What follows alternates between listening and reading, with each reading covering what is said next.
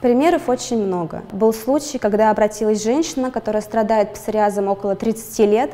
Псориаз затрагивал около 80% кожных покровов. Помогли ей, и женщина благодаря сказала «Спасибо вам, я наконец-то могу одеть прозрачные колготки и платья». К нам обратилась женщина, которая страдает заболеванием псориазом с детства.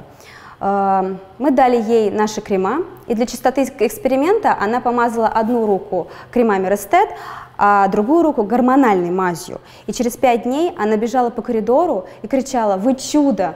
Ни одна гормональная мазь не давала такого эффекта, как ваша продукция Рестет».